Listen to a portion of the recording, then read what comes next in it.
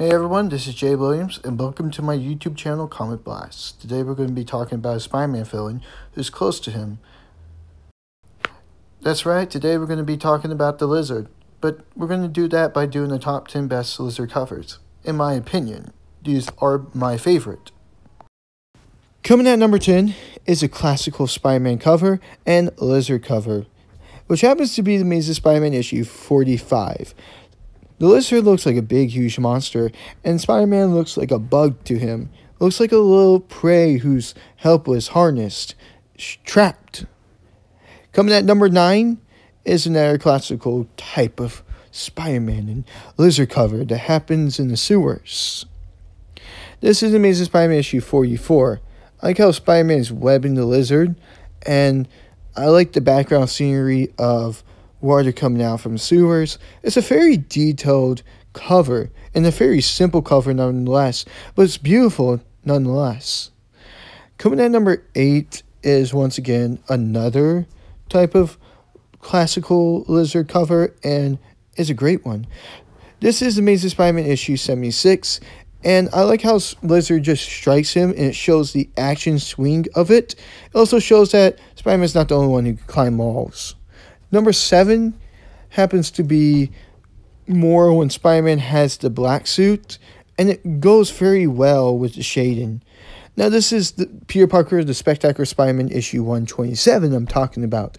I like how the spider signals going off, the doors opening to a dark room, and Lizard looks all swampy. Number six is a more I want to say Todd McFarlane art. Very gritty, very grotesque for the lizard.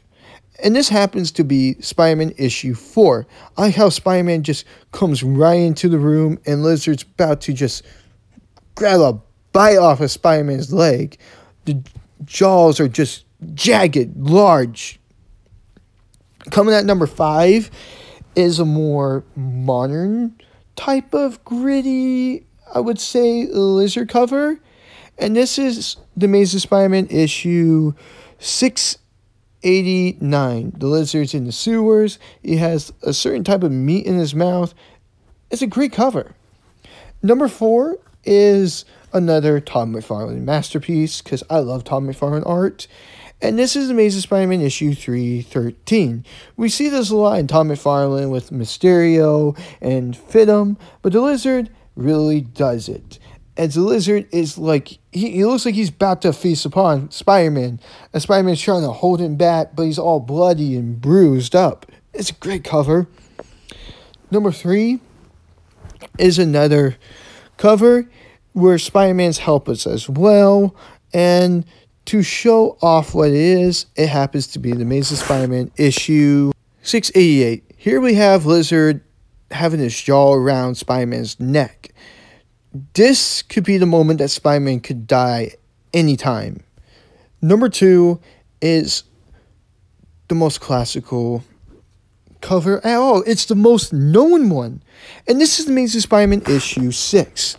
The first appearance of the Lizard. I love how Spider-Man's falling down a well and Lizard's coming after him like, oh, you're not going to escape me. I'm going to kill you personally. And number one is my most favorite one, a childhood favorite of mine. Actually, it's one of the first comic books I ever owned. This is the Amazing Spider Man issue 630, Shade Part 1.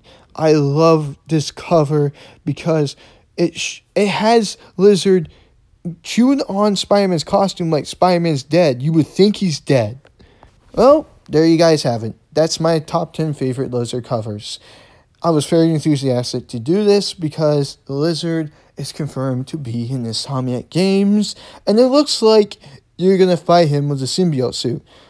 We probably already know that, but that's great. That's that's exciting. I really love the Lizard. I really love Curt Connors. His background story very sympathetic, and the stories that you read can either be very sympathetic or very dark and gritty as in Todd McFarlane and how he betrays it, or the Shade storyline being one of the darkest stories ever known.